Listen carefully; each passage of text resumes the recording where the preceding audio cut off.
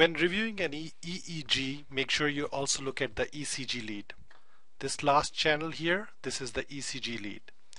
And what you want to identify is if there is any cardiac arrhythmia which can potentially account for the loss of consciousness that your patient experiences. A first degree heart block is defined as an increase in PR interval more than 200 milliseconds. So a PR interval ranges from the beginning of the P wave to the beginning of the QRS complex.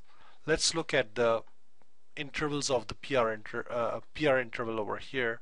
So starting beginning of the P wave to the beginning of the QRS complex, it is 398 milliseconds. So this is a first degree heart block.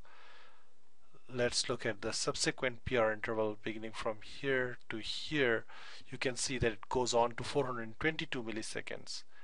And over here from the beginning here to the beginning of the QRS complex it goes to 484 milliseconds. So the PR interval here is progressively increasing and it keeps increasing to a point. So right here the PR interval increases to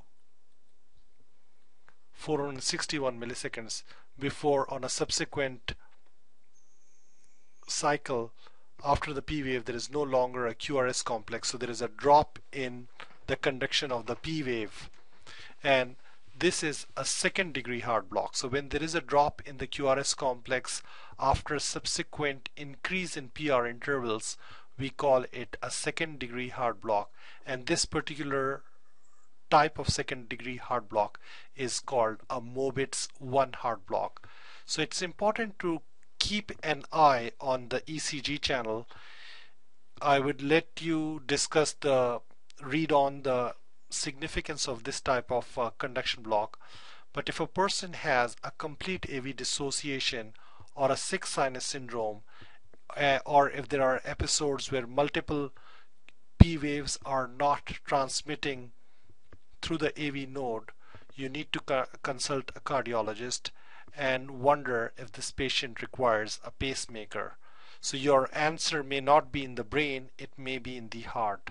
Make sure you do look at the ECG before reporting an EEG. Thank you.